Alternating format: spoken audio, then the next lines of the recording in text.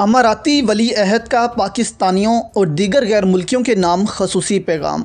شیخ محمد بن زید کہتے ہیں، آپ کو امارات کا قومی ترانہ پڑھتا دیکھ کر میری آنکھوں میں آنسو آ گئے۔ آپ کسی طرح بھی اس ملک کے شہریوں سے کم تر نہیں۔ اللہ آپ سب کی حفاظت کرے، انشاءاللہ ہم جلد ان مشکل حالات سے باہر نکل جائیں گے۔ تفصیلات کے مطابق اماراتی ولی عہد شیخ محمد بن زید کی جانب سے متحدہ عرب امارات میں مقیم غیر ملکیوں کے نام خصوصی پیغام جاری کیا گیا ہے۔ اپنے پیغام میں شیخ محمد بن زید نے امارات میں مقیم غیر ملکیوں کا خصوصی شکریہ ادا کیا۔ ان کا کہنا ہے کہ انہوں نے حال ہی میں غیر ملکیوں کی جانب سے امارات کا قومی ترانہ پڑھنے کی ایک ویڈیو دیکھی ہے۔ میں نے دیکھا کہ لاک ڈاؤن کے باعث اپنے گھروں میں محصور غیر ملکی کیسے گھروں کی بالکنی میں آ گئے اور پھر انہوں نے مل کر امارات کا قومی ترانہ پڑھا۔ شیخ محمد بن زید کہتے ہیں یہ ویڈیو دیکھ کر ان کی آنکھوں میں آنسو آ گئے۔ وہ امارات کے غیر ملکی رہائشیوں کو بتانا چاہتے ہیں کہ وہ کسی طور پر بھی اماراتی شہریوں سے کم تر نہیں ہیں۔ غیر ملکی رہائشی امارات کے ساتھ ویسے ہی وفادار ہیں جیسے امارات کے اپنے شہری۔